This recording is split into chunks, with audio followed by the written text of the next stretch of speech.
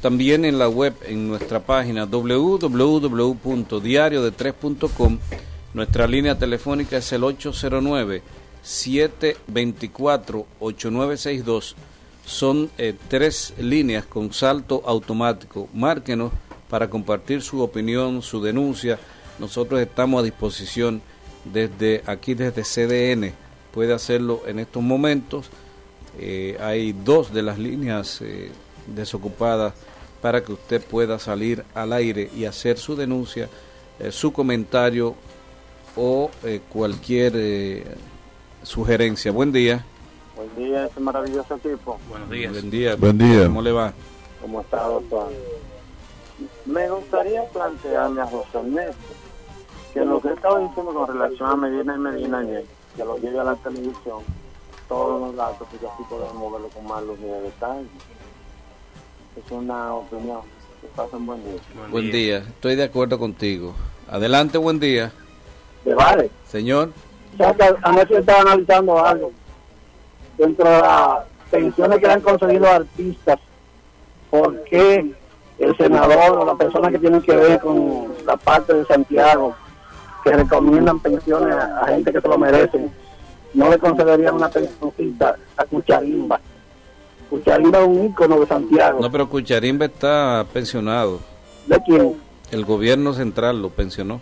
Ah, eso yo no sabía. Sí, sí, yo vi eh, a través del Ministerio de Cultura lo pensionaron. Ah, ah, ah. Llegó tarde tu sugerencia. No, no, está bien. Y cuando comenzó a cantar eh, eh, esa persona que estaba cantando ahí, yo creía que era como José Lacae. ¿Qué se ha hecho esto? Cuéntame, lo vemos. Bueno, yo no sé exactamente qué se hizo de ese señor.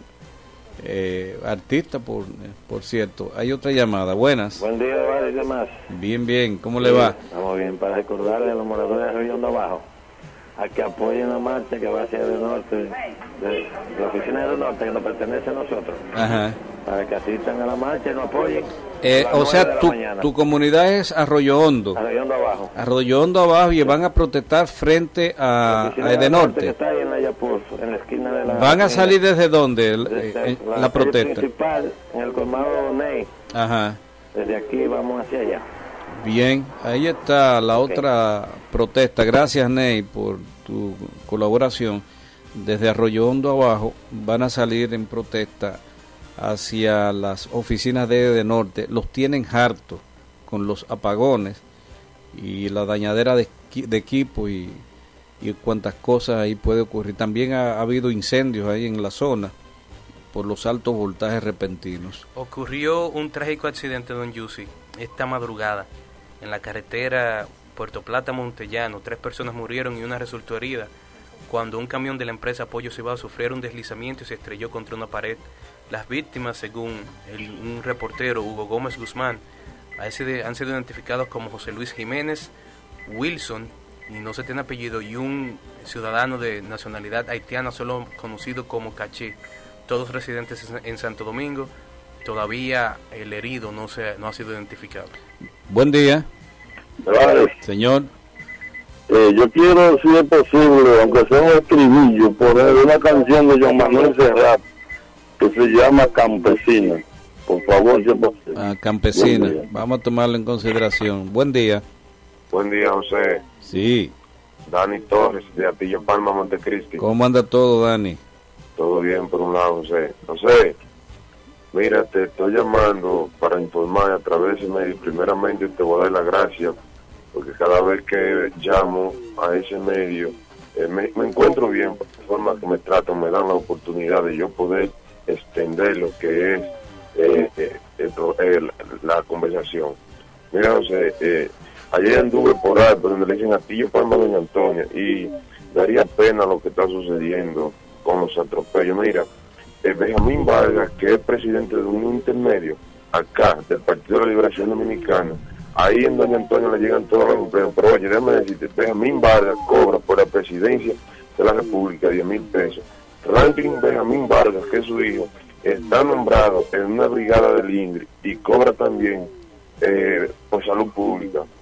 Y déjame decirte, Albanelli Vargas, Albanelli Benjamín Vargas también es capataz de una brigada del INDRI y cobra también, que hija de... ¿Pero cobran o trabajan? ellos ellos eso es trabajan, diferente. eh, o, o sea, están como botellas, son empleados Ah. los tres de una sola casa. Entonces, déjame decirte, más compañeros que entonces no no están trabajando, que son presidentes del comité de base, en ejemplo, el área Augusto Castillo, que está sin empleo, un hombre enfermo, eh, Julio Ramón García, que es un hombre enfermo eh, de la circulación, Daniel Sánchez Lico, un reconocido dirigente, el Ibarra, otro reconocido dirigente. Pero déjame decirte que también aquí en Atillo Palma, Gregorio Tavares, Purito, tiene dos hijas y la mujer trabajando en la Dirección Nacional de Desarrollo Fronterizo. Daría pena y vergüenza que la familia PLDista continúe siendo atropellada acá en el distrito de Palma, en la provincia de Montecristi. Hay un grupo que si no están con él, entonces no hay nada, no hay nada para ellos. ¿Alguna pregunta sobre eso, José? No, yo lo que creo que es bochornoso que esa gente, eh, carajo, por eso fue que lo- Rosita, Fadul y compañía le pusieron comezón. Mira, mira, José, Así no se puede. José, ¿Sí? José, ¿me, me escucha? Sí, Mira, sí.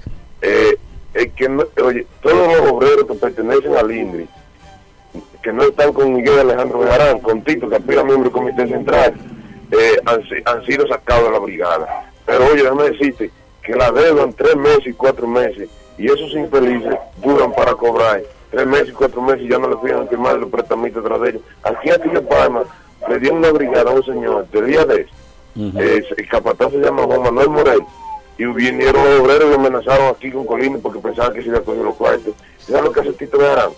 Que todos los empleos que llegan acá a la provincia, que llegan acá a la provincia, eh, llegan a mano de él, el que no está con él no se lo da. Entonces la familia peladeísta está siendo atropellada. Yo le hago un llamado a través de ese medio, que se escucha bastante, al señor excelentísimo presidente, de que tome carta en el asunto. Bien, bien. Muchísimas gracias. Gracias a ti por compartir tu denuncia con nosotros. Llamada, buenas. De Vares. Señor. Cuando tu hijo hablaba del accidente, yo pasé frente al fondo donde hubo un terrible accidente esta madrugada, según. Ajá. y una profesora de un colegio bilingüe muy nombrado en la ciudad y otra persona, eh, creo que la profesora falleció y Hay una que falleció y hay otra que está muy grave. bien doctor, eh, usted que sabe de eso puede eh, comentar más, muchas gracias. Bien, gracias a ti. Yo quiero eh, enmendar un comentario del día de ayer. El comentario fue alrededor de si Franfito Domínguez, el nieto de Rafael Leonidas Trujillo, podría participar o no en actividad política en la República Dominicana. Eh, ayer yo dije que iba a consultar la ley, que iba a consultar a alguna gente. Justamente consulté a un antitrujillista, al doctor Ramón Antonio Negro Veras, lo consulté para que me hablase del tema. Y el doctor Veras me aclaró eh, lo que decía José Ernesto, y le doy la razón a José Ernesto en eso, eh, cuando él planteaba que nada legalmente, legalmente, le prohíbe al caballero hacer actividad proselitista política en la República Dominicana. Lo que la ley le prohíbe a él es exaltar la figura de su padre o de la dictadura. Y a todos los otros y a todo eh, a todo el que esté que pudiese entenderse como exaltación del trujillismo en el país.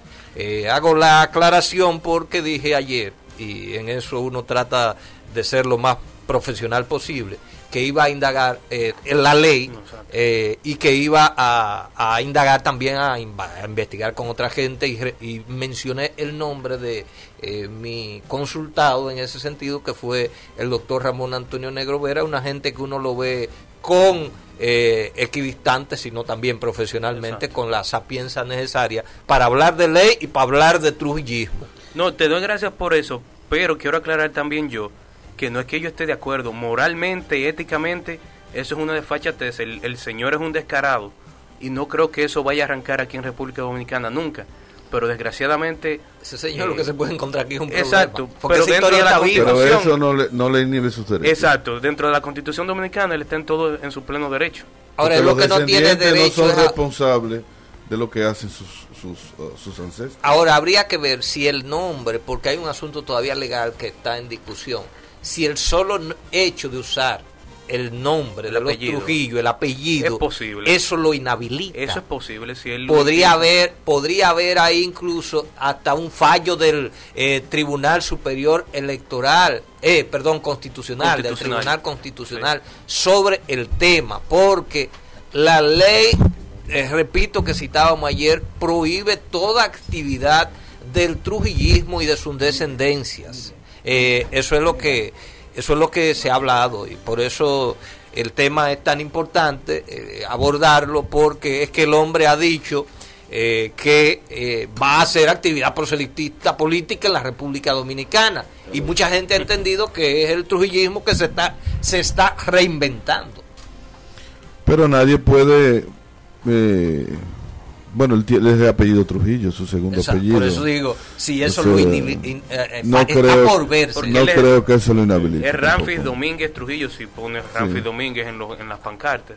No, pero puede poner Trujillo Domínguez, porque eso- porque por No, el, pero hecho- por el hecho ver. de portar un apellido no lo inhabilita, creo que en pero términos. que hubo una decisión hubo una decisión Es que- de es- la es de que- la procuraduría general de la república Es que yo en creo- que habló de ese tema Pero lo que yo creo es que lo que no se puede exact- exact- exaltar No, es- eso es la ley. el régimen de Trujillo. eso lo plantea la ley Pero el hecho de mencionarlo a él y él hacer planteamientos políticos.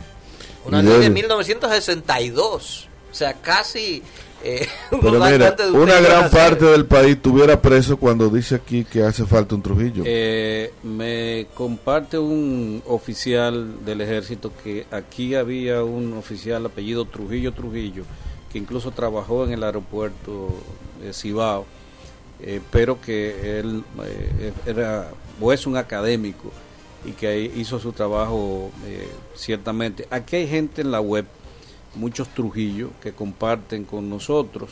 Eh, evidentemente eso no, no Eso no, no, no lo inhabilita. lo- no los inhabilita. Eh, ahora, el que el nieto de Trujillo esté eh, intentando optar, traicionando a la población dominicana como lo ha hecho, porque eh, ha empezado una serie de gestiones dizque para recuperar Ay, el patrimonio, una fundación. eh, una fundación incluso Eso es aupado por eh, diputados actuales. Eso hay que enfrentarlo Eso bajo sí. toda reserva y el país no puede permitir más perversidad. Con Y el- Leonel está bien y ya. el país anda indagando dónde están los cuartos Buen que se robaron de aquí Buen día. Sí. La ley debiera cumplirse respecto a no exaltar el trujillismo. Muy de acuerdo. Pero aquí hay otros presidentes y otros políticos que hicieron más barbaridades, más crímenes y más desfachatez moralmente que Trujillo. Y aquí no se está no respetando la Yo, Yoli, presidente. Usted, si eso es, eso es Yo indefendible. Olvídese de eso Oye, eso es indefendible. No, No, no, óigame, hasta usted por exaltar la figura de Trujillo y por hacer propaganda de eso puede estar preso de acuerdo a la ley. Pero que metan a Anthony Río, a Anthony Santos, que lo dijo en el mismo, el mismo escenario. Pe- pidió perdón por haber cometido de estupidez que hizo. No, yo estoy de acuerdo contigo que debieron meterlo preso y botar la llave. Yo, Yo estoy de acuerdo contigo. entonces Yo aquí no hay llave, aquí no hay llave, aquí hay llave para el pobre. No, no, estamos de acuerdo, pero óyeme, pobre, el hecho de que pobre, está Trujillo, preso. que haya otros que hayan hecho igual o peor que Trujillo, no lo exime de responsabilidad. Vamos a Estamos establecer eso, vamos Mira a hablar como claro. dice tu compañero, que metieron a Elías preso. Si soy yo que le doy una pecosa a la mujer mía, me meto Ah, dos años de medida de coerción adelante. ya. No, no, Ya, pero, eso, no, pero está preso ahí, eh, está preso. Estamos de acuerdo, estamos de acuerdo, porque está hay Jenny ahí, que ¿verdad? presos. Si tuviera Aquí beca, hemos tuviera avanzado en suerte. eso. No está todo el que debe estar, pero hemos avanzado. No, hombre, no, el preso es un sitio de lujo, ese está suelto, está, ese está suelto. Que lo metan para la victoria, como tanto esos delincuentes, para ver lo que le pasa. Está bien, gracias, Yuri. Buen día, Claro, señor. un día de nuevo. Sí. Entonces, a los que tratan a Trujillo deberían de meterlo preso. Pero Euclides Gutiérrez lo hace por, por televisión y radio. y Óyeme, óyeme, es que no hay, no hay nombre que esté exento del cumplimiento de la ley. Claro. En eso es que tenemos que estar claros. Y eso es lo que nosotros estamos demandando. Mira, sea Euclides, sea Leonel, sea eh, Es que la ley eh, prohíbe la Juan, exaltación Juan de Bo- Óyeme, el que sea, y de ese régimen. es la ley, punto. El imperio de la ley es lo que andamos nosotros buscando. En buena forma con el doctor Manuel Lora Pereyó. Doctor, Bien, hoy quisiera compartir un correo electrónico que me, me mandaron, que lo encuentro bastante interesante. Y el título de él son Nosotros los Nobles. Damos todo a nuestros hijos y los dejamos sin nada. Analizan expertos la formación que dan los papás. La cinta mexicana Nosotros los Nobres refleja esta realidad social. Chicos protegidos y sin obligaciones. Recién graduado de la universidad, Marcelo ya tiene un carro nuevo. No se preocupa por los gastos de renta, comida ni servicio. Posee ropa de marca y los celulares más sofisticados. Lo tiene todo sin preocupaciones ni exigencias laborales. ¿Cómo esto es posible? Fácil, tiene al mejor jefe del mundo, un papá sobreprotector. Cada vez son más los jóvenes que viven a expensas de sus padres sin buscar independizarse del todo y sin reconocer el valor de ganarse las cosas a través del esfuerzo. Esta realidad, aunque se muestra de forma divertida en la película mexicana de reciente estreno, Nosotros los Nobles, es una problemática que, de acuerdo con los expertos, solo dará una generación de adultos inútiles y débiles. A los hijos no se les está exigiendo nada y por eso es una generación de merecimiento, según la colombiana Ángela Marulanda, autora y educadora familiar entrevistada por Miami. Son chicos súper débiles, se traumatizan con todo, se deprimen con todo, se quieren suicidar por todo porque no saben luchar. Le quitamos la capacidad de postergar la gratificación, trabajar duro y de luchar por lo que quieren, por darles demasiado. Nobles en la casa. Situado en México, nosotros los nobles cuenta la historia de un empresario, Germán Noble, quien al darse cuenta que sus tres hijos, Gaby, Bárbara y Charlie, llevan una vida inútil, vacía, han tomado malas decisiones, decide fingir la quiebra de su empresa. De esta manera los deja sin automóviles, sin celulares, sin tarjeta de crédito, los lleva a vivir a un vecindario pobre y les pide hacer algo que no saben hacer, trabajar. Con una recaudación de 25 millones de pesos en una semana de estreno, la cinta se perfila como la película mexicana más exitosa del año. Pero más allá de lo económico, el filme ha puesto sobre la mesa la discusión de la generación del merecimiento, formada por los jóvenes que pasaron a ser cabeza de jerarquía familiar de acuerdo con Marulanda. Les enseñamos algo muy grave a los hijos. Su función es recibir y la nuestra como padres darle. Le enseñamos a recibir, pero no a dar, señala la autora del libro De culpa a la calma. Estamos viviendo una cantidad de niños malagradecidos, sin entusiasmos, vagos de todas las clases sociales. Es la generación del merecimiento, la generación de los niños que se merecen todos. Ellos no piden, sino que exigen, y precisamente por eso, porque saben que sus jefes, los que piden, se los dan. Dame, dame, dame. Independientemente del estrato social y de la ubicación geográfica, cada vez más se ha vuelto común ver a los hijos que se quedan con sus padres muchos años después de llegar a la edad adulta y de terminar sus estudios, aprovechando la oportunidad de vivir sin responsabilidad y sin necesidad de esforzarse. Jesús Amaya, autor de diversos títulos como Padres Obedientes, Hijos Tiranos, cuenta su charla con una joven egresada de la universidad, a quien le preguntó a qué se dedicaba. Ella le respondió que nada y que vivía mucho mejor sin trabajar. Me sorprendió, me dijo, no trabajo, mi papá me da más de lo que puedo ganar. Pues claro, muchachos así jamás van a trabajar. Los papás les dan cada vez más, cada mes cantidad, cierta cantidad de dinero. Pues para que trabajen, pues para qué trabajan si ganan más que sus papás, afirma el titular del afirma este profesor universitario. Aunque no todos los padres pueden dar dinero a sus hijos mensualmente, en cualquier sector socioeconómico, hay papás que despojan a sus hijos de cualquier responsabilidad al permitirle vivir en hogar sin aportar nada, sin contribuir a nada, porque se sienten más allá, porque sienten que hasta, más, hasta, hasta allá va su tarea como padre. Mi muchacho trabaja, no se ha casado, es ayudante mecánico, gana poquito. ¿Cómo se lo voy a quitar? Si él quiere dar, pues que sea su voluntad. Señala un taxista sobre un hijo de 23 años. Inculcar el esfuerzo. Los creadores de la generación del merecimiento, coinciden los expertos, son padres sobreprotectores que perdieron la vista a los valores verdaderamente importantes en la formación de sus hijos al tratar de evitarles carencias o las dificultades que ellos sufrieron cuando eran niños y jóvenes. Un factor es que estos adultos, y yo me incluyo entre ellos, dice el del correo electrónico, vivimos carencia cuando éramos pequeños o adolescentes. Crecimos con muchas responsabilidades y muchas dificultades. Ahora que soy papá, no quiero ver que mi hijo sufra eso. Que tengo yo, que tenga lo que yo nunca tuve. Es una generación muy cómoda de muchachos. Viven con pocas carencias y muchas comodidades. No viven las consecuencias de su conducta o sus malas decisiones. Están siendo sobreprotegidos. No hay responsabilidades para quienes dan la porque quienes dan la cara siempre por sus errores son sus padres. Todo esto hace que el muchacho crezca en un mundo virtual y ficticio. Un enfoque es, es que el fin es la felicidad y no el resultado de acciones gratificantes. Influye también en la formación de los jóvenes que los adultos solo buscarán la comunidad con el nada o el mínimo esfuerzo, afirma Marulanda.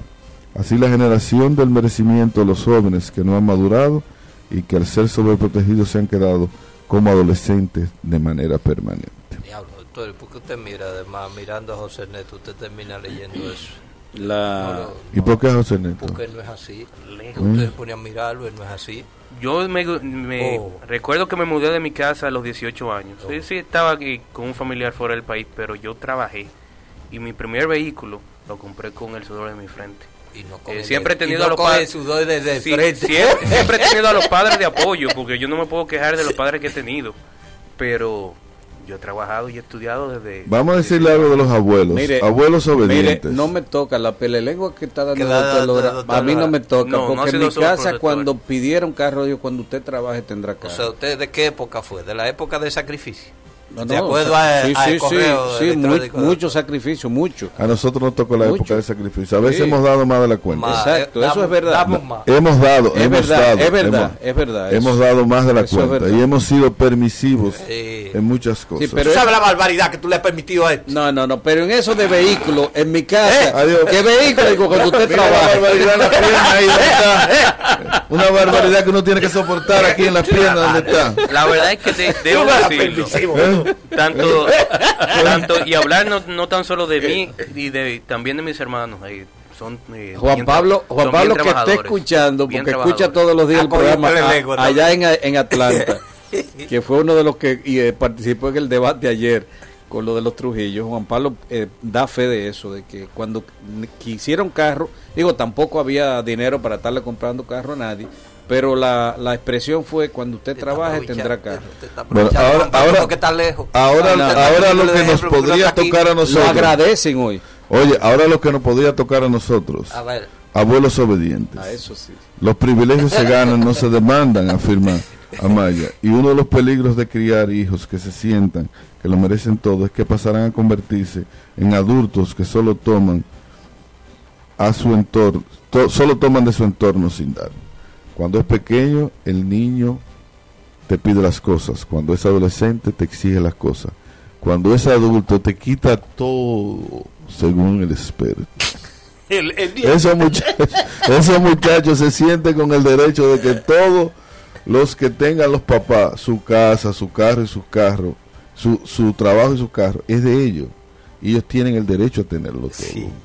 Es por eso que los expertos exhortan a los padres a que enseñen a sus hijos desde pequeño a ganarse sus privilegios. Estos papás, cuando sean abuelos, serán abuelos obedientes. Serán unos abuelos que seguirán manteniendo a los hijos e hijas, a las nueras, a los yernos y a los nietos, prevé Ayala. Los nobles, Javi, Bárbara y Charlie, no solo habitan la película de moda, sino también pueden ser que vivan muy cerca de ti. En cuestión de reglas, pero recuerdo que es necesario, además de las reglas, el ejemplo, dicen los expertos Ángela Maruranda y Jesús Amaya, aconsejan a los padres educar a los hijos desde pequeños. establecer reglas. Los hijos tienen derecho, pero tienen pero también tienen obligaciones. Buscar que los chicos se esfuercen por lo que quieren. Los hará adultos responsables. Analizar sus motivaciones. Si vas a comprar algo para tu hijo que tu hijo te pide, él debe tener eso porque está a la moda o por ser menos que lo demás, o realmente lo necesita.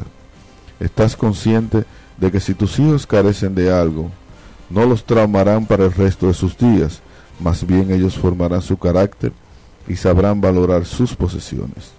Tener en cuenta que el que da algo especial a sus hijos, ellos deben saber que es una gratificación bien ganada. Eh, hay comentarios en la, en la web. Aquí me dicen que se pasó el doctor. El de, pasó, el de Sachenka, Urbáez comenta, dice que excelente eh, ella no comparte la parte de la sobreprotección porque dice que hay mucha inseguridad, hay mucho miedo por lo que pasa en las calles eh, y que eh, muchos padres sienten temor de que sus hijos sean víctimas de la maldad en las calles. Evidentemente eso la lleva a, a sobreproteger, con eso hay que tener mucha cuenta, porque estaríamos, tal y como apunta el artículo que el doctor Lora nos ha comentado, estaríamos creando monstruos para la sociedad. Hay que tener cuenta con eso. Eh, es que la sobreprotección no tiene nada que ver con la vigilancia y con tú saber dónde están tus hijos y además tú orientarlos a que tengan visión sobre la sociedad en conflicto en la que se vive. Yo creo que el artículo que haces énfasis es más que todo, es en la sobreprotección económica que nosotros damos más que la sobreprotección de vigilancia y la sobreprotección social. Y eso es una cosa que debe ser una llamada de atención. A nosotros, cuando nos tocó ser jóvenes y ser adolescentes, gente de clase media, cada cosa que nosotros pedíamos había que tener una justificación adecuada para darnos. Y en, esa, en ese momento la sociedad eh, pedía mucha compensación por algo, porque las cosas costaban mucho. Hay otros eh, oyentes que te piden eh, compartirlo, que se lo envíe el enlace para ellos tener la... Eh, el correo electrónico. Exactamente. ¿Cómo podemos su correo, doctor, para que, para que los oyentes sepan su correo, para entonces ahí usted lo comparta? P curhomes.hotmail.com Eso, eso, es chino. Yo lo que voy a hacer es que se lo voy a mandar a Debares y que Debares lo comparta. Em, yo se lo enviaré a, los oyentes que lo han estado pidiendo a través de la, de la web. Eh, tan pronto el doctor me lo haga llegar, pues yo se lo haré llegar. Eh, doctor, eh, señor Debares, señor Debarito, Glenis, eh, un oyente llamado Jesús Peguero me escribe diciéndome algo que no es nuevo, pero es como medio chistoso. Que si yo sabía que la ciudad no tiene para comprar un bombillo, bombillos eh, no tiene la ciudad. Eso, quiere decir el ayuntamiento. Eso es por el, problema en el Parque Duarte, Plaza Valero y Celia Pepín, que está sin No sé, me dice que si, yo sabía, que si yo sabía que el ayuntamiento no tiene para comprar bombillos. No, porque el dinero se está invirtiendo en otra cosa. Estamos construyendo apartamentos y cosas de esas. Buenas. Sí, buen día, José. Sí. Búscate en YouTube, respecto al tema que tenía el doctor, un poema que se llama La peor madre del mundo, de Mariano Osorio. Esa es una parte de José Neto, que me investigue bien eso de la UAS y la educación virtual, que me dé una explicación por radio, que no entendí bien. Cómo no, gracias. Agua Cascada está procesada con estrictos controles de calidad, pensando en la salud de usted y de su familia. Agua Cascada es calidad embotellada. Para sus pedidos, anota el número 809-575-2762. Cascada, calidad embotellada. Las proteínas y la salud tienen un nombre reconocido en el país. Pollos Yaque. Sienta la seguridad de consumir lo mejor. Pollos Yaque. Calidad a simple vista. Farmacias Fuentes San Luis, adaptado a tu necesidad. En cinco ubicaciones para servirte calle San Luis, esquina Independencia, centro de la ciudad. Avenida Bartolomé Colón, esquinas en Mansoriano, Plaza Coral, Avenida Inver 168 en Guravito, Avenida Yapur Dumit, edificio Noa en La Fuente, y Avenida Rafael Vidal, esquina Avenida Juan Pablo Duarte en El Embrujo. Farmacias Fuentes San Luis, al servicio de tu salud siempre. En Floristería Margarita, una flor es el más expresivo mensaje de amor, arte y estilo en cada uno de nuestros arreglos florales. También organizamos sus eventos con todo incluido, a un excelente precio. Contáctenos. Estamos en la calle Sánchez número 35, al lado del Liceo México, con el teléfono 809-582-6390 y en la avenida Los Jazmines número 35 con el teléfono 809-724-6402. Floristería Margarita. Bautista Motors te ofrece vehículos usados con garantía. Cucho y Blanco esperan por ti en la avenida Estrellas la esquina Padre Las Casas. En Estancia Nueva Moca, frente al antiguo Hotel Leniza, en la autopista Duarte Puñal, entrada al aeropuerto Cibao, y en la avenida Luperón de Santo Domingo. Bautista Motors, la confianza para adquirir tu vehículo. La tradición de la comida criolla nacional e internacional se hace realidad en Rancho Chito, restaurant Bar Grill, con un exquisito menú para personas que gustan de buena comida. Desde la carne asada a la leña, el tradicional puerco asado, las jugosas costillitas de cerdo, las sabrosas quineas criollas asadas a la leña, mm, eso y más en Rancho Chito, kilómetro doce y medio, en la autopista Duarte.